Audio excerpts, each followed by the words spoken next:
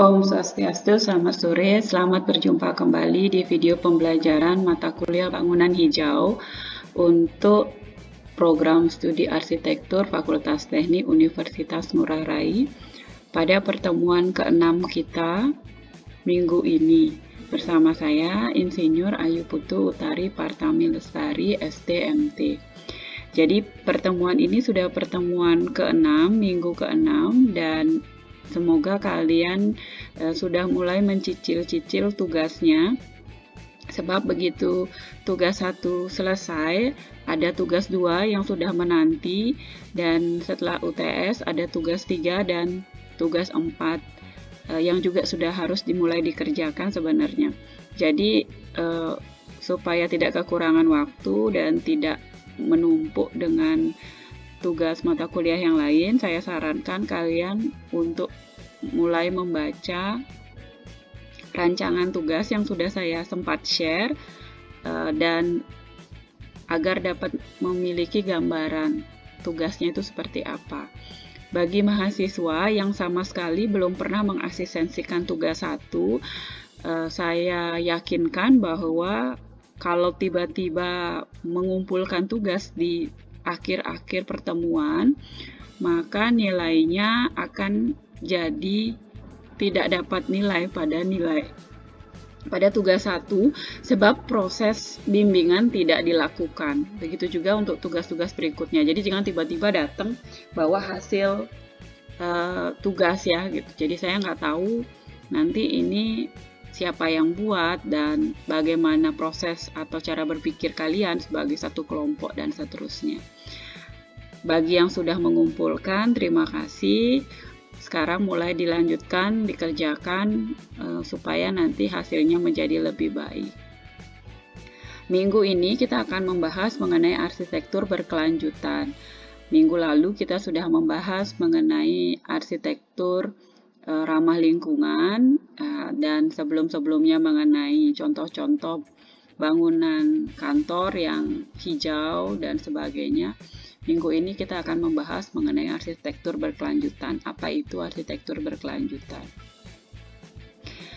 Jadi, arsitektur berkelanjutan itu ditarik dari istilah mengenai pembangunan berkelanjutan.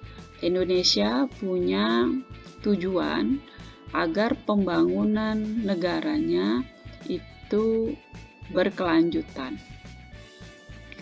Jadi pembangunan berkelanjutan di Indonesia artinya itu adalah pembangunan pemerataan dan kewilayahan.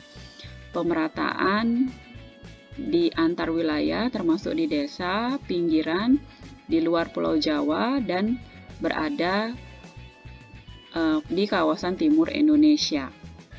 Pembangunan berkelanjutan di Indonesia juga berarti pemerataan antar kelompok pendapatan. Ada upaya-upaya dari pemerintah untuk melakukan pembangunan yang merata eh, sehingga terwujud pembangunan berkelanjutan. Pembangunan dalam konteks negara itu adalah proses yang terus-menerus dan membutuhkan waktu yang lama sehingga dibutuhkan output yang cepat yang dapat dijadikan contoh dan acuan masyarakat tentang arah pembangunan yang sedang berjalan, sekaligus untuk meningkatkan motivasi dan partisipasi dari masyarakat. Dalam konteks arsitektur berkelanjutan, pembangunan berkelanjutan ini juga penting karena walaupun namanya e, sama, tetapi e, intinya juga sama tidak hanya namanya saja yang sama, tetapi intinya juga sama. Arsitektur berkelanjutan atau sustainable arsitektur adalah arsitektur yang berusaha untuk meminimalkan dampak negatif lingkungan bangunan dengan efisiensi dan moderasi dalam penggunaan bahan, energi, dan ruang pengembangan serta ekosistem secara luas. Arsitektur berkelanjutan menggunakan pendekatan secara sadar dalam rangka konservasi energi dan ekologi dalam desain lingkungan binaan atau teori, sains, dan gaya bangunan yang dirancang dan dibangun sesuai dengan prinsip-prinsip yang ramah lingkungan.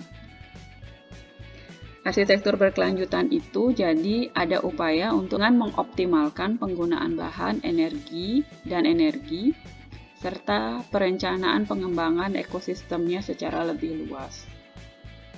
Keberlanjutan atau desain ekologi dalam konteks arsitektur berkelanjutan itu adalah memastikan tindakan dan keputusan yang kalian ambil sebagai perancang saat ini, hari ini, tidak menghalangi peluang generasi mendatang untuk tetap hidup, untuk tetap berkembang.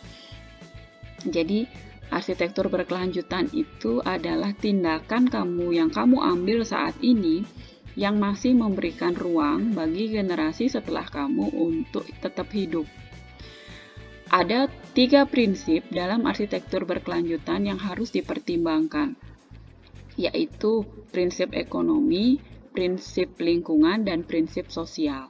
Ketiganya harus membentuk uh, lingkaran dan diagram Venn, diagram dan diagram Venn sehingga ketiga-tiganya seperti pada ilustrasi saya itu akan membentuk pembangunan dan arsitektur yang berkelanjutan.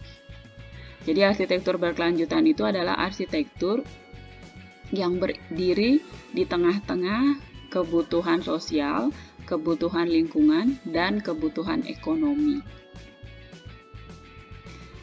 Contoh-contoh arsitektur berkelanjutan seperti ini. Semua arsitektur sebenarnya bisa saja disebut sebagai arsitektur berkelanjutan kalau dia yang seperti yang tadi saya bilang punya tiga prinsip itu di dalam perancangannya. Uh, prinsip ekonomi, prinsip sosial, dan prinsip lingkungannya. Secara umum, pengertian arsitektur berkelanjutan itu adalah konsep terapan dalam bidang arsitektur dalam mendukung konsep berkelanjutan, yaitu konsep yang mempertahankan sumber daya alam agar bertahan lebih lama untuk generasi berikutnya yang dikaitkan dengan umur potensial vital, sumber daya alam, dan lingkungan ekologis manusia, seperti iklim planet, sistem pertanian, industri kehutanan, dan arsitektur. Misalnya kamu nebang kayu sebanyak-banyaknya sehingga generasi selanjutnya itu tidak kamu sisakan kayu untuk membangun misalnya itu salah atau kamu merusak lingkungan dengan membuang sampah sembarangan, tidak memperhatikan limbah buangan dari bangunan kamu. Nanti akan ada pencemaran lingkungan sehingga anak cucu kamu nanti sulit mendapatkan air bersih. Contohnya seperti itu. Kerusakan alam akibat eksploitasi sumber daya alam telah mencapai taraf pengerusakan secara global, sehingga lambat tetapi pasti bumi sebagai planet kamu akan semakin kehilangan potensinya untuk mendukung kehidupan manusia akibat dari berbagai eksploitasi terhadap alam tersebut.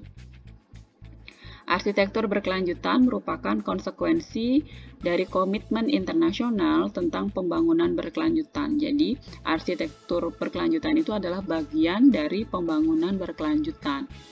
Karena arsitektur erat kaitannya dan fokus perhatiannya pada faktor manusia dengan menitik beratkan pilar utama konsep pembangunan berkelanjutan, yaitu aspek lingkungan binaan dengan pengembangan lingkungannya, di samping pilar pembangunan ekonomi dan sosial.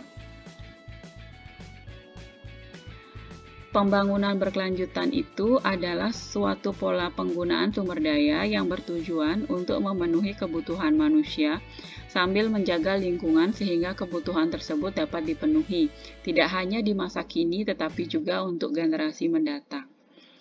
Istilah pembangunan berkelanjutan itu pertama kali diperkenalkan oleh Komisi Birdland yang menciptakan apa yang menjadi istilah yang paling sering dikutip mengenai pembangunan berkelanjutan, yaitu pembangunan yang memenuhi kebutuhan sekarang tanpa mengkompromikan kemampuan generasi mendatang untuk memenuhi kebutuhan mereka sendiri. Jadi intinya adalah tidak mengkompromikan kemampuan mereka. Kita menganggap bahwa anak cucu kita juga punya hak yang sama dengan kita. Jangan berpikir bahwa nanti alam akan mengembalikan lagi kondisi seperti kondisi kita sekarang. Itu, pandangan yang sangat keliru. Pada bulan Agustus lima tahun yang lalu 193 negara menyepakati 17 tujuan pembangunan uh, berkelanjutan. Salah satunya Indonesia mengenai target pembangunan berkelanjutan. Yang pertama itu pembangunan berkelanjutan harus memberantas kemiskinan. Arsitektur juga bisa kok memberantas kemiskinan, ada beberapa caranya. Yang kedua, pengentasan kelaparan. Begitu juga dengan arsitektur, semua bisa dilakukan. Kehidupan yang sehat menjamin bahwa warga negaranya memiliki kehidupan yang sehat, akses terhadap kesehatan yang baik. Pendidikan yang berkualitas, kesetaraan terhadap gender, eh, kesetaraan terhadap hak dan kewajiban laki-laki, perempuan, anak-anak, orang tua, eh, kaum disabilitas. Kemudian air bersih dan sanitasi. Yang ketujuh, adanya energi yang bersih dan murah. Nomor 8, pekerjaan yang layak dan tingginya pertumbuhan ekonomi. Yang kesembilan, industri, inovasi, dan infrastruktur. Kesepuluh, mengurangi kesenjangan, kesenjangan pendapatan, kesenjangan sosial, ekonomi. Yang kesebelas, kota-kota dan komunitas yang berkelanjutan. Yang ke-12, konsumsi dan produksi yang bertanggung jawab. Yang 13, beraksi untuk iklim artinya uh, climate friendly, ramah terhadap lingkungan. Yang ke-14, kedamaian dan keadilan untuk semua. Ke-15, kemitraan untuk pembangunan yang lestari. Ke-16, mempromosikan masyarakat yang damai dan inklusif untuk pembangunan berkelanjutan, menyediakan akses terhadap keadilan bagi semua, dan membangun institusi yang efektif, akuntabel, dan inklusif di semua tingkatan.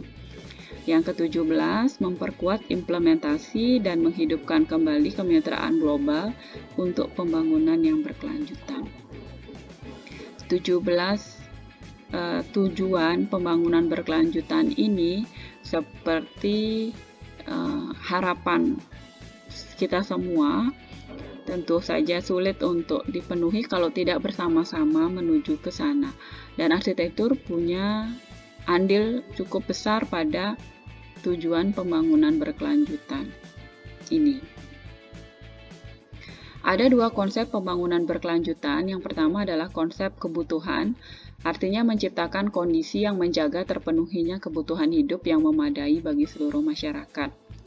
Kemudian konsep yang kedua adalah konsep keterbatasan, menjaga kapasitas lingkungan untuk memenuhi kebutuhan saat ini untuk akan datang.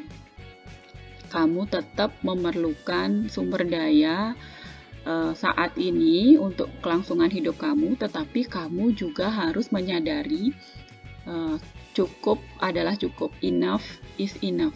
Berhenti ketika kamu merasa sudah cukup. Jangan rakus, jangan mengeksploitasi kebutuhan kamu melebihi dari kemampuan. Jangan terus-menerus gitu ya. Jangan terus mem terus membangun, jangan terus-menerus merusak, jangan terus-menerus memotong dan lain sebagainya.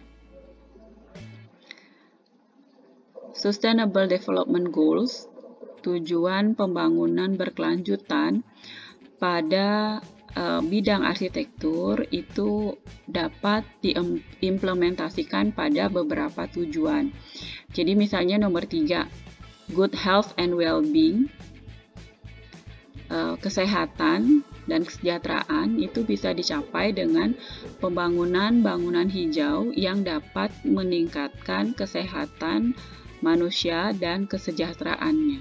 Bangunan hijau itu kan juga salah satu tujuan pembangunannya itu adalah kenyamanan dan kesehatan manusia. Kalau kamu bisa membangun bangunan yang seperti itu, maka kamu berkontribusi pada pembangunan berkelanjutan.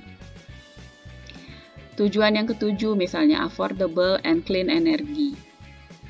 Energi yang eh, aman dan murah. Bangunan hijau dapat menggunakan energi terbarukan yang menjadi lebih murah untuk di uh, untuk digunakan. Tujuan nomor 8, pembangunan berkelanjutan misalnya design work and economic growth, pembangunan ekonomi yang baik, meningkat dan pekerjaan yang layak. Bangunan hijau, uh, infrastruktur bangunan hijau dapat menciptakan lapangan pekerjaan dan bisa meningkatkan uh, perekonomian. Prinsip nomor 9. Industri, innovation, dan infrastructure uh, dapat diterapkan pada bangunan hijau yang dapat meningkatkan uh, inovasi dan berkontribusi pada infrastruktur yang ramah terhadap lingkungan. Prinsip nomor 11, Sustainable Cities and Communities, eh, kota-kota dan lingkungan yang berkelanjutan. Bangunan hijau adalah jaringan dari tas dan kota yang berkelanjutan. Kalau kamu bikin banyak bangunan hijau, maka kota-kota dan komunitas kamu bisa berkelanjutan. Prinsip nomor 12, produksi dan konsumsi yang bertanggung jawab. Bangunan hijau menggunakan siklus memutar di mana uh, sumber daya tidak dibuang begitu saja. Prinsip nomor 13, climate action, bangunan hijau menghasilkan sedikit emisi, membantu mengurangi uh, kerusakan iklim. Prinsip 15, uh, eh, life on land.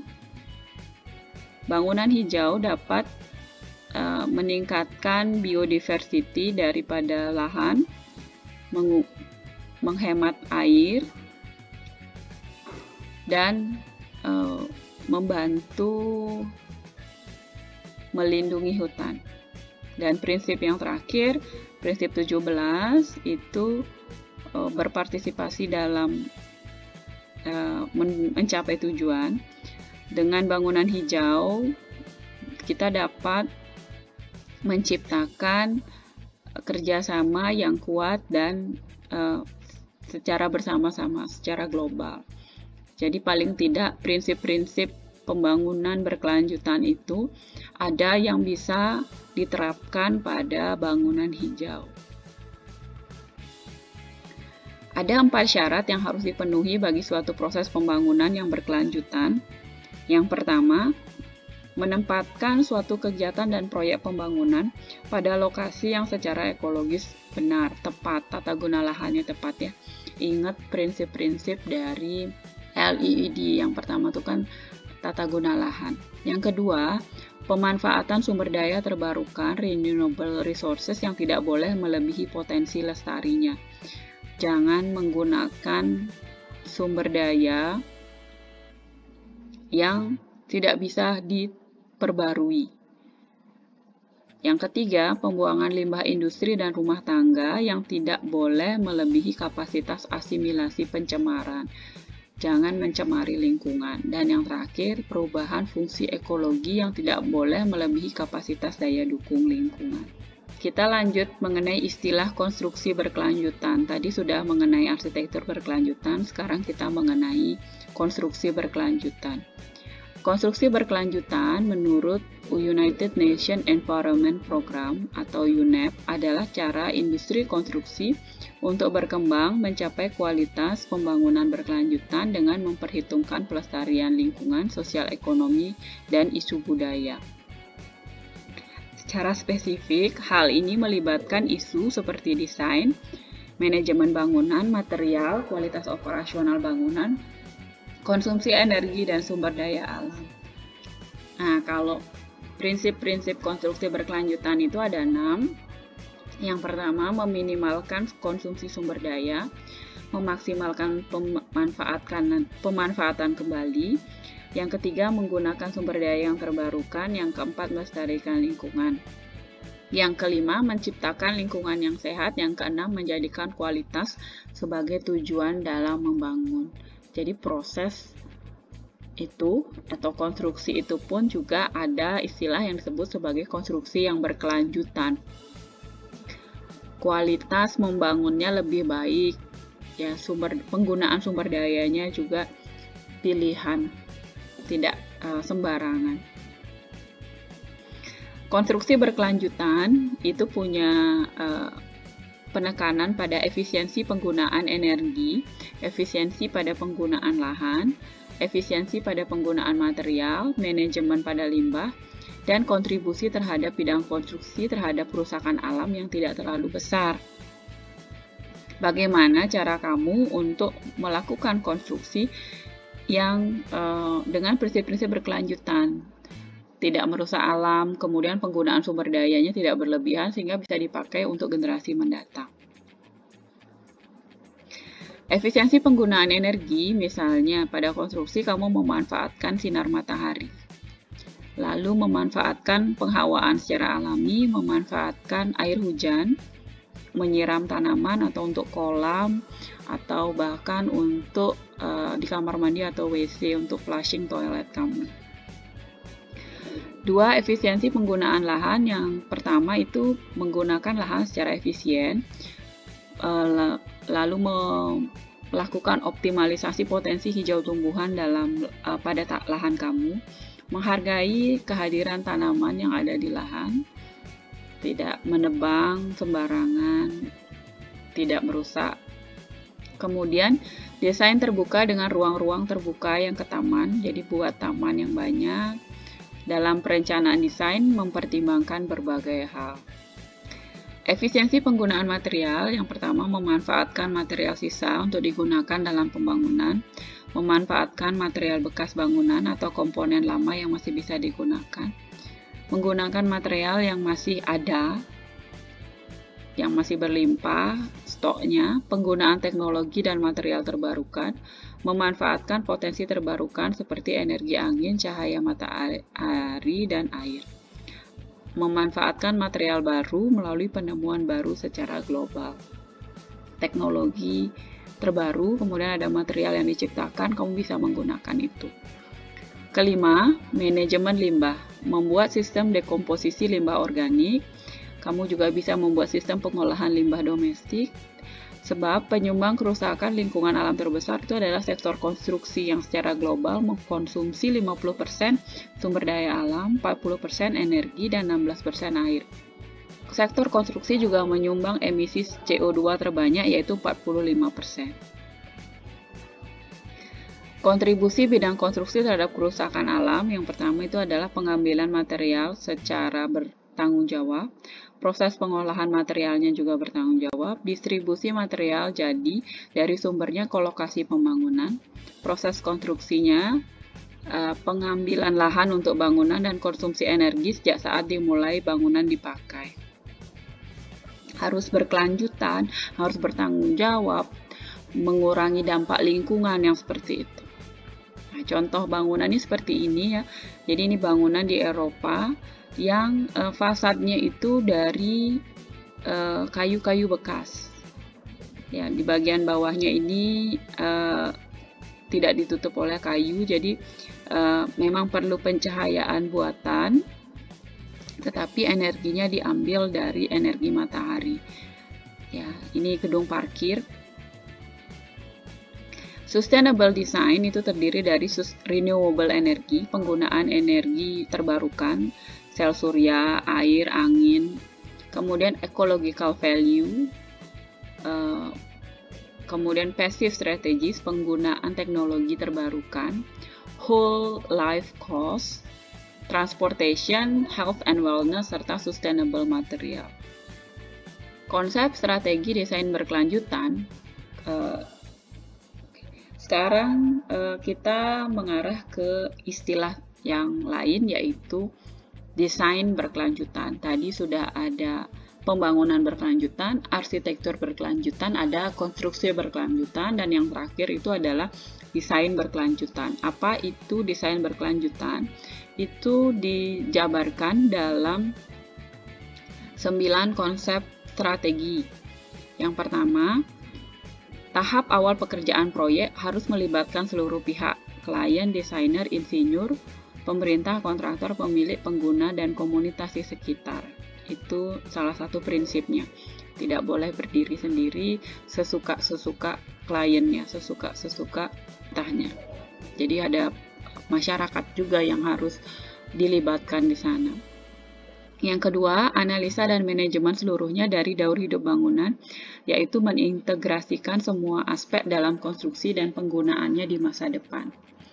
Yang ketiga, optimalisasi desain yang efisien, energi terbarukan, teknologi modern, dan ramah lingkungan harus menjadi satu kesatuan. Desainnya efisien, menggunakan energi terbarukan, teknologinya modern, dan sekaligus juga ramah lingkungan. Yang keempat, kesadaran bahwa proyek arsitektur dan konstruksi tersebut merupakan sistem interaktif yang kompleks dan terkait pada lingkungan sekitar yang lebih luas, bisa mencakup pada warisan sejarahnya, kebudayaan, dan sosial masyarakat. Material yang bangunan yang sehat itu menciptakan bangunan yang sehat juga, tata guna lahan yang seimbang, tapi tetap menimbulkan kesan estetik dan inspiratif serta dapat memberikan keyakinan pada masyarakat bahwa bangunan kamu itu memiliki desain yang berkelanjutan. Poin kelima itu adalah upaya untuk mengurangi carbon imprint, jejak karbon, dengan mengurangi penggunaan material berbahaya yang berdampak terhadap aktivitas pengguna. Poin keenam, ada upaya untuk meningkatkan kualitas hidup kesetaraan baik lokal maupun global, memajukan kesejahteraan ekonomi, serta menyediakan kesempatan-kesempatan untuk kegiatan bersama masyarakat. Yang ketujuh, populasi urban tergantung pada sistem desa kota yang terintegrasi, saling terkait untuk keberlangsungan hidup. Contohnya, ada fasilitas publik, air, udara, perumahan, pendidikan, kesehatan, kebudayaan, dan seterusnya. Konsep yang kedelapan mendukung pernyataan UNESCO mengenai keragaman budaya umat manusia sebagai sumber pertukaran penemuan kreativitas. Desain kamu itu harus mendukung keberagaman budaya umat manusia, tempat manusia bisa saling berinteraksi. Yang kesembilan, konsep-konsep di atas diterjemahkan bahwa pendekatan sustainable arsitektur atau desain diterapkan secara menyeluruh dengan melihat daur hidup dari bangunan dan penerapannya harus secara komprehensif dari material hingga penghijauan lingkungan. Contoh-contoh eh, prinsip-prinsip di atas itu harus diterapkan secara keseluruhan komprehensif, tidak boleh sepotong-sepotong. Contoh uh, desain berkelanjutan itu adalah ini rumah botolnya Ridwan Kamil. Jadi Gubernur Jawa Barat sekarang Ridwan Kamil itu rumah tinggal pribadinya di Bandung. Fasadnya itu dibuat dari uh, botol kerating deng ya. Jadi kamu bisa lihat ini botol-botol kerating deng yang disusun sehingga bisa menghasilkan fasad yang seperti ini e, diceritakan bahwa kenapa Ridwan Kamil memilih botol kerating deng sebagai fasad dari e, rumahnya itu karena botol ini tidak terbarukan ya. Hmm, pemulung tidak mau ngambil botol ini dan botol ini tidak bisa diisi ulang seperti botol ABC, sirup ABC kan bisa diisi ulang jadi botol minuman atau yang lain ya. Botol bir bisa jadi botol temulawak dan lain sebagainya tapi botol kerating deng enggak sehingga dia memilih botol kerating deng ini. Juga dia melihat bahwa banyak sekali limbah kerating deng ketika tukang-tukangnya dia bekerja zaman dulu. Dia susunlah botol-botol kerating deng itu sehingga menjadi fasad dari uh, kulit dari beberapa uh, arsitekturnya dia. Dia desain seperti ini sehingga Eh, botol-botol ini bahkan uh, ketika diterpa cahaya matahari menghasilkan bayangan yang estetik ya. Anak-anak zaman sekarang seperti ya uh, botol-botol ini ditutup kemudian ujungnya ditutup kemudian disusun direkatkan dan disusun. Oke demikian materi saya untuk kuliah minggu ini Semoga terinspirasi. Silahkan tugasnya ditambah-tambahkan, mulai mempersiapkan untuk tugas 2, 3, dan 4 sebelum nanti makin uh, sibuk kalian.